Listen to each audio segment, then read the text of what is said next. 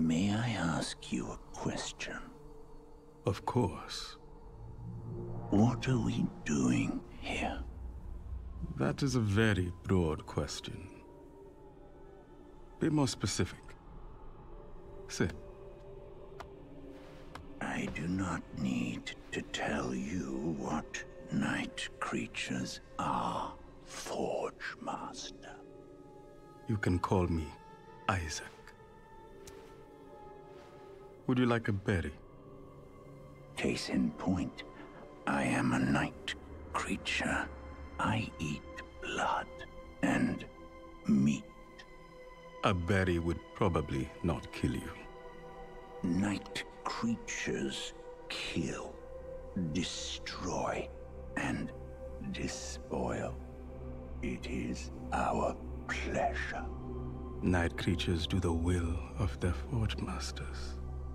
Then perhaps I simply don't understand your will. You have us burying people. The city was littered with dead. Too many of them were too decayed to be converted by magic. So? So they need to be buried. You are not a fool. Insects and diseases would breed. And I would remind you that everyone here was a victim. They deserve a burial.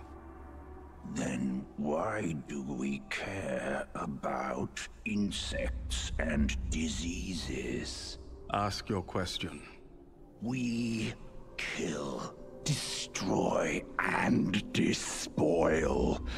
You have us burying the rotten dead and rebuilding and repairing this place. Why do you have us going against our nature? Your nature is fluid.